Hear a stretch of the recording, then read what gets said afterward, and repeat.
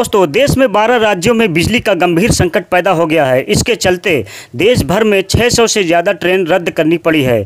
आने वाले समय में यह संकट और गहरा हो सकता है। इधर कोयले की कमी के गहराते संकट के बीच, दिल्ली सरकार ने राष्ट्रीय राजधानी दिल्ली में मेट्रो, ट्रेन और अस्पतालों सहित महत्वपूर्ण प्रतिष्ठानों को निर्बाध बिजली आपूर्ति में संभावित बाधा आने को लेकर चेतावनी जारी की है। रिपोर्ट के मुताबिक, देश में बिजली की मांग में वृद्धि के बाद कोयले की ज़रूरत बढ़ गई है।